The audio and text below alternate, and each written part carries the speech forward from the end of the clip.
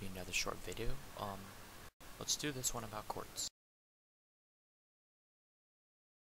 Quartz is a Castbar add-on that has a lot of extra crap that you don't need.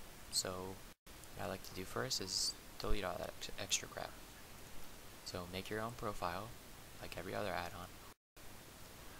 Then go to Focus, Disable, Pet, make sure it's disabled, make sure all this is disabled. Because default is to enable all this. You don't want any of this crap. Just make sure everything is disabled. Everything except player and target. So this is pretty easy to go to, player. Let's change the font to what we've been using. Hide the icon. Mm -hmm. Texture. I think I chose Healbot.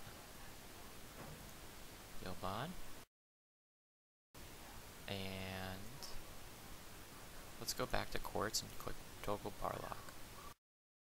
Then will show us our cast bars. Same thing with Target.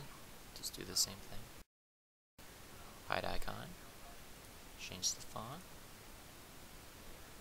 make it Healbot.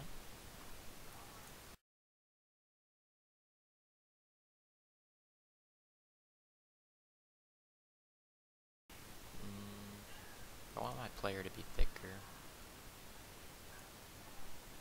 So let's get the height height going. Okay, that looks pretty good. Target looks okay. I hope that doesn't have an icon.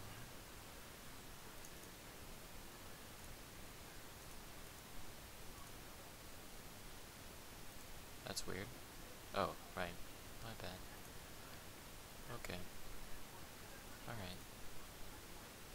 Let's let's just put it right here for now. Lock. Let's cast a spell. There it is, smite.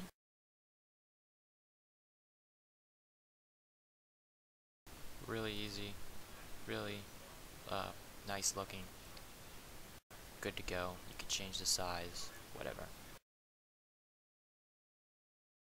Uh, yeah, that's quartz.